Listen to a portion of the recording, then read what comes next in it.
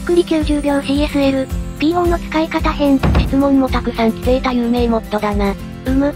水木市長が翻訳した日本語がついに反映されて日本語化されたよ。電車以外にもやれることあったんだなあの人。PO を使うには MoveIt からオブジェクトを PO に変換するのが早いよ。その後 PO ボタンで編集が可能になる。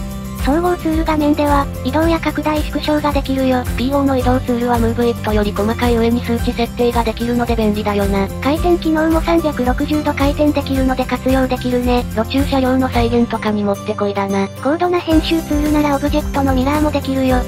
総合ツールに戻りカスタマイズを押すと、さらに細かく編集ができる。動画によく乗るのはこっちの画面だよな。頂点は左クリックで選択するか、右ドラッグで範囲選択が可能。この時のマウスツールで、位置や回転、拡大縮小などの各操作ができるよ。コントロール Z で元に戻すこともできるぜ。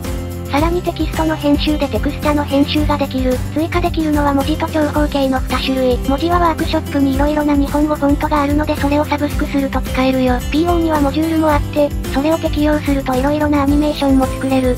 例えばこのバッケンフォースモジュールは、PO オブジェクト繰り返し運動を定義できる。応用すると前足役所みたいな動きが作れるってことだな。PO の詳細な使い方は CSL コンテストのサイトにも記事があるので、そっちも見てみてね。他にも紹介してほしいことや知りたいことがあればコメントしてくれよな。